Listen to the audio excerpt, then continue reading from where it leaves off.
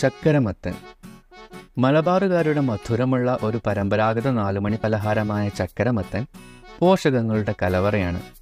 ഇന്നത്തെ തലമുറയിൽ ഇത് എത്ര പേര് കഴിച്ചിട്ടുണ്ട് എന്നത് സംശയമാണ്. അര കിലോ നന്നായി പഴുത്ത മത്തൻ തൊലി കലഞ്ഞ് ചെറിയ കഷ്ണങ്ങളായി മുറിച്ചെടുക്കുക. നാല് മണിക്കൂർ വെള്ളത്തിൽ കുതിർത്ത് വെച്ച ഒരു കപ്പ് വൻപയർ കുക്കറിലിട്ട് രണ്ട് കപ്പ് വെള്ളം ഒഴിച്ച് ചെറുതീയിൽ നാല് വിസിൽ വരുന്നത് വരെ വേവിച്ചെടുക്കണം. ഇനി മുറിച്ച് വെച്ച മത്തങ്ങ കാൽ ടീസ്പൂൺ ഉപ്പും ഒരു കപ്പ് വെള്ളവും ഒഴിച്ച് കുക്കറിലിട്ട് രണ്ട് വിസിൽ വരുന്നത് വരെ വേവിച്ചെടുക്കാം. അഞ്ച് കട്ട ശർക്കര ആവശ്യത്തിന് വെള്ളം ഒഴിച്ച് ഉരുക്കിയെടുക്കണം. രണ്ട് ടീസ്പൂൺ വറുത്ത റാഗിപ്പൊടി വെള്ളമൊഴിച്ച് കട്ടകളില്ലാതെ കലക്കിയെടുത്ത് മാറ്റിവെക്കാം.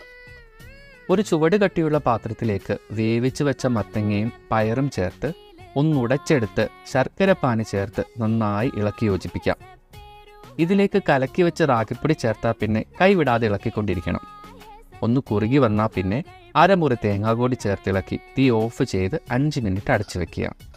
അവസാനം രണ്ട് ഏലക്കായ ചതച്ചതും ഒരു ടേബിൾ സ്പൂൺ നെയ്യും കൂടി ചേർത്ത സംഭവം റെഡി.